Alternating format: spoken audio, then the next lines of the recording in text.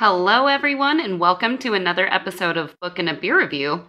I drink beer and I review indie authors' books. So, if you like beer and you like books, hit that subscribe button below. If you are an indie author and you would like your work featured, reach out to me, comment. That's good enough for me. Let me know that you'd like to be featured. Otherwise, come back every Sunday and have a beer with me. Today's beer is interesting. Um, strawberry chocolate guilty pleasure porter. We have a strawberry chocolate order From who made this? O'Fallon Brewing Company again. Okay. O'Fallon Brewing Company is putting out some uh, definitely variety. And it's 5.7%, so it should be decent. Let's crack this baby open and see what we got to work with. Oh, I can smell the strawberry and the chocolate.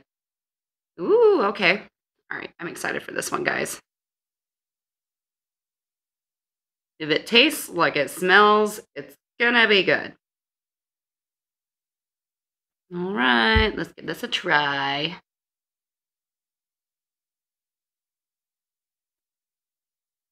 Holy shit. That's delightful. It's not a heavy port or porter at all. Like it's very light drinking, but it has a big punch of flavor. That strawberry hits you really hard towards the end.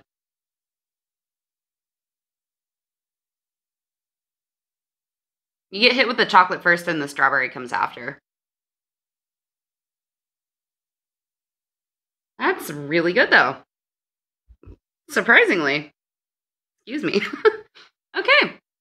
O'Fallon Brewing Company's Strawberry Chocolate Guilty Pleasure Porter. It's a good one, guys. I quite like it. Today, I'm going to be reviewing Psychic's Aura by Patti Malcolm. Patti is an author out of Canada. She was born in Edmonton, Alberta. Then she spent time in Lethbridge and then spent some time in California. Okay, first, look at her cover, guys. This cover is gorgeous. I love it. I love purple and black. Those are a couple of my favorite colors, besides red, obviously.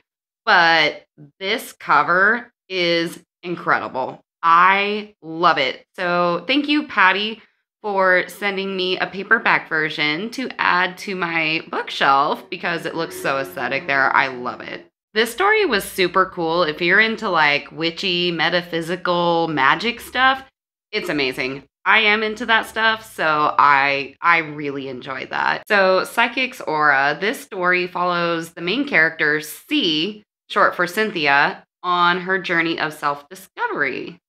C is a psychic and a strong one, but it turns out she has a whole nother side of herself that she needs to discover and master, or else she could be putting herself and all of society in harm's way. C is thrust into a world she has no idea about and must navigate many bombshells being dropped on her in her life. I mean, it just keeps coming for this poor girl. Left and right, she keeps finding out more and more information about herself, her past, her family, and it leaves her reeling the entire book.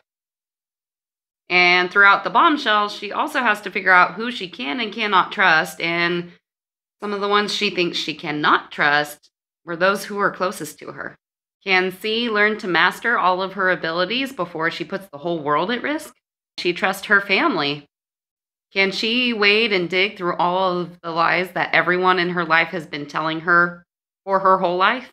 And a warning for you this book's gonna leave you on a serious cliffhanger. So, more books? Yes. I loved this story. I was a huge fan of it. It was super easy to read, easy to follow along with. I think it would be really good for preteens and teens. This story would really appeal to that. But then again, I'm almost 30 and I loved it. Mm-hmm. So don't let that age target deter you. If you like witchy, metaphysical, psychic kind of things, this is a good story for you.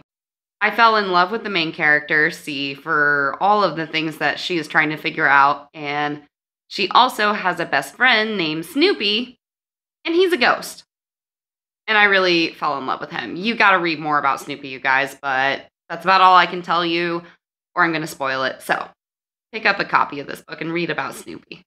There's also a little hint of romance in the story, and I was living for it, so there's a touch of romance in there for you romance fans.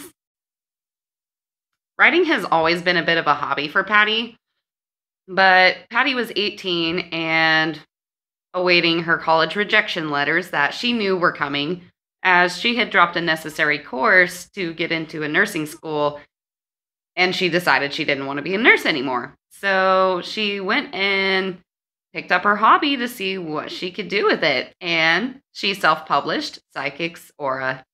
As far as what inspired Psychic's Aura, Patti says she daydreams a lot and her mind wanders a lot. And every now and then she gets a good story out of it, and Psychic's Aura was one of those stories. Now, I mentioned the major cliffhanger at the end of this book.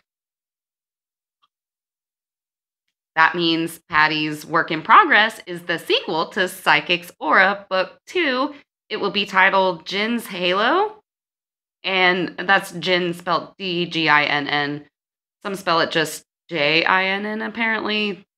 Google's conflicted on a lot. But anyway, Jinn's Halo, and it is expected to be released in February of 2023. So I am super excited about that. I'll pre pre-ordering it like I am willing to pre-order all of these books that I've reviewed. So absolutely pre-order this. Again, I'll put the link in the description so you can get a copy of Psychic's Aura from Amazon. Patti is grateful to have a mind that can come up with stories and put them on paper. She's really thankful to have the ability to write books and she very much enjoys it. And I really enjoyed this story. So thank you, Patti, for taking the initiative and writing this and following your dream and making this story a reality because I'm a huge fan now and I cannot wait for book two. Hobbies outside of writing, Patti loves to crochet and knit, also loves amateur photography, and loves leisure hiking. And a fun fact about Patti she hates nuts in brownies. I'm with you on that one.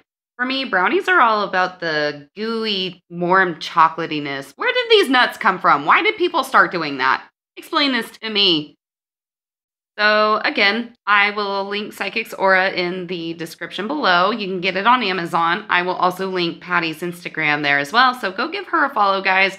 Show your support. If you like these kinds of stories, you're going to love Psychic's Aura. Well, folks, that's going to wrap up another episode of Book and a Beer Review. Thank you for being here today, guys. Thank you for watching. Thank you for supporting another incredible indie author. If you like books and beer, subscribe below. And I have a new beer and a new book for you guys every Sunday. So every Sunday, come to the channel, have a beer with me, and enjoy hearing about a new book. Other than that, I hope you all have a great week. Happy reading, and as always, cheers.